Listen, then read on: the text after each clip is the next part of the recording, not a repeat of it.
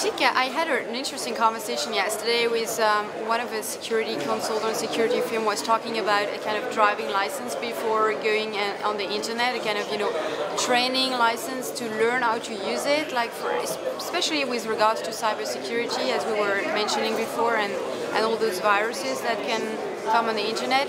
I think it's a good idea that people, you know, with all those people now getting access to internet, we should all, I'm not thinking only about, you know, teenagers, or I'm thinking as well about elderly people getting access to internet. Like my parents just, you know, got a laptop or a, a, a, a tablet and now they're connecting to the internet. Basic things like, you know, don't open an attachment which is a .exe or these kind of things to make sure that